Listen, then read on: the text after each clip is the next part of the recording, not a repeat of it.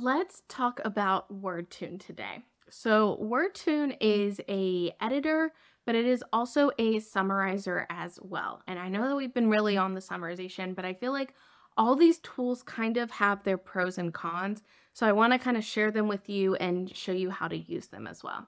So this is WordTune's like official page. It is a Chrome browser. This is the read version. There's also an editor version, and I will do that in a different video. I don't want to cover those in the same video. But this is the read version, and you can just click add to Chrome, and you would takes you to the Chrome web store, and then you can add to Chrome there. And so what we can do is whenever you have actually added it, you can go to wordtune.com slash read, and I'll have all of these in the link below and you can actually either upload in your files, paste a link, or paste text as well. And what I'm going to do is I want to show you what this looks like if you're just on a PDF and you're not specifically in WordTune's page. So if I just go to what this PDF, again, this is what I do like all these different analyses tools on. I can come up here and you can see that this says WordTune read right here. And so if I click on it, it brings up this summary here. So I've already done this summary obviously on it to test it out first. And so it brings up this summary here of kind of the snippets or key points in each of the different sections.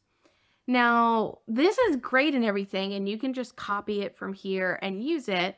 But I think WordTune goes a little bit further in their summaries that I think is really, really cool whenever you're really trying to analyze a new paper. And so I don't think WordTune is probably the best for your quick summaries. I would use something like Paper Digest specifically, or even TLDR this, and I'll have both of those videos linked down below if you're just trying to get quick digest. But if you're trying to look for kind of more involved summaries of things, I think this is a really good system for it.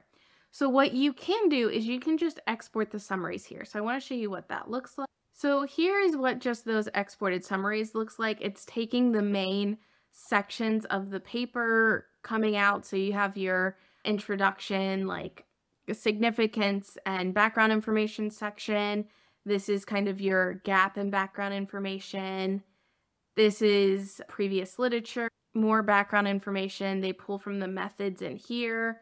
Very similar, I would say, to what TLDR this does your steroid adduction.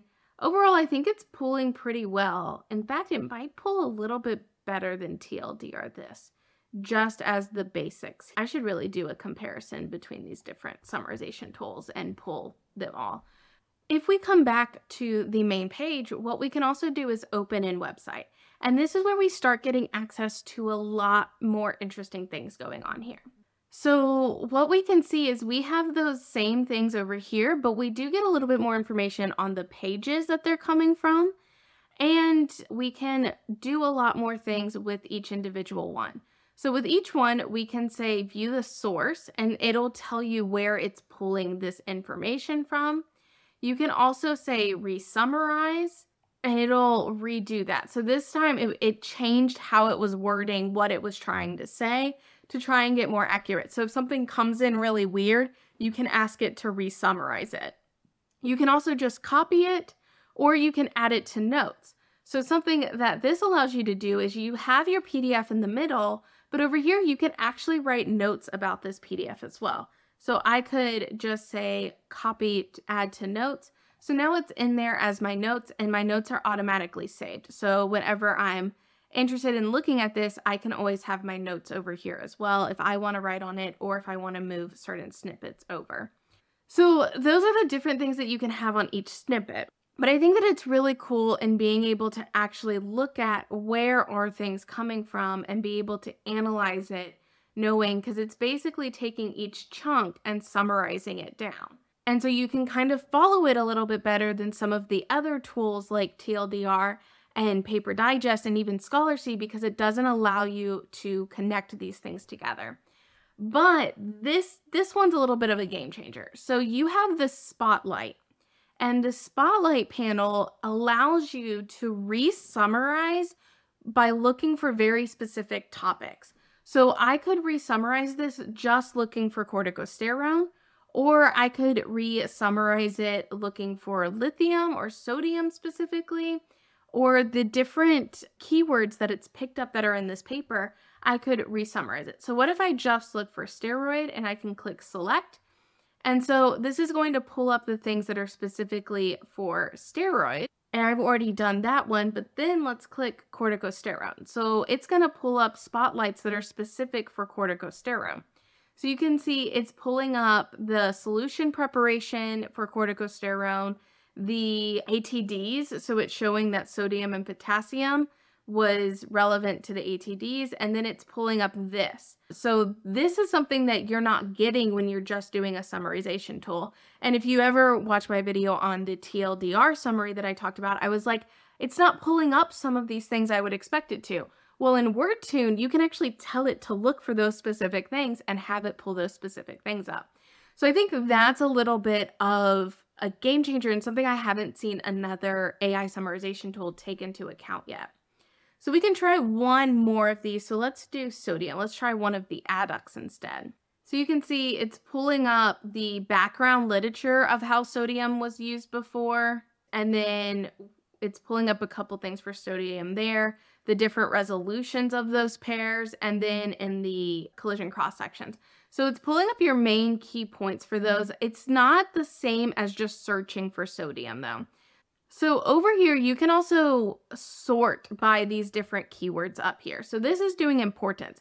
It thinks that these keywords are most important to this paper, but I can also search for frequency. So it's saying like steroid is one of the most frequent terms in this paper as well. So it's kind of interesting in the way that you can search this and, and separate those out.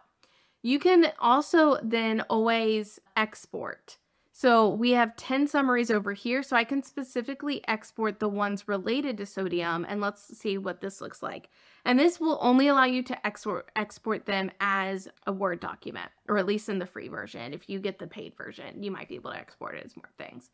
But it allows you to export these out which can be really helpful if you're writing your research paper. And if you are trying to write a research article, check out my scientific research article checklist. I'll leave it in a link in the description below, but it helps you kind of navigate how, how to do that entire process.